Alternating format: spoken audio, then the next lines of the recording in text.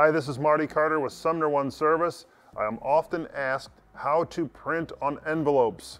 So let's do it. On the Konica Minolta machine, it recommends no more than 15 envelopes in the bypass tray. I say no more than 10. You load the envelopes in a face down position with the flap up with the shortest edge leading. This is a standard COM 10 envelope. Next, I'm gonna show you what we need to do on the touchscreen. Now that we've loaded envelopes into the bypass tray, we need to input the size into the machine. From the home screen, we're gonna touch where it says copy, and we're gonna select the paper source by touching where it says paper. Here, we'll notice that the hand feed bypass tray has question marks. It's unable to detect the envelope. I'm gonna select that source and press change tray setting. Now, on a lot of the newer models, after you load the envelopes, this screen automatically appears.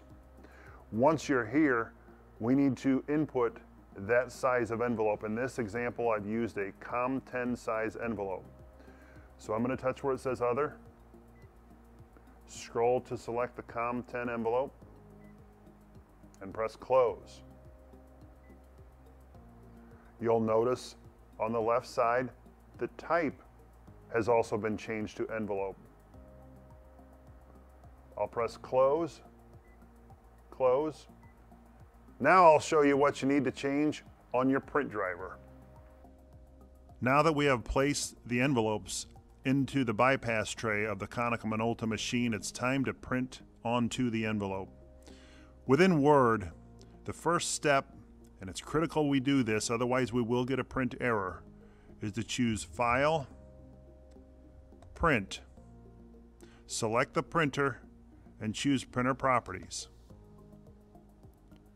Once this opens, we need to choose the Basic tab up top and change the paper type from plain to what we changed it to at the machine, envelope type.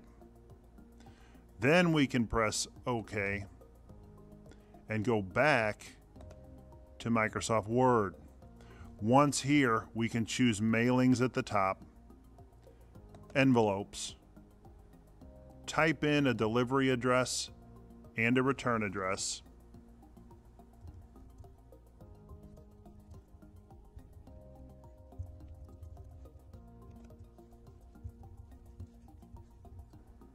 Then we're ready to print, but the one last thing I check under the Options tab is I want to make sure that that size does match. It's a COM10 envelope. Here it is size 10, so we're good.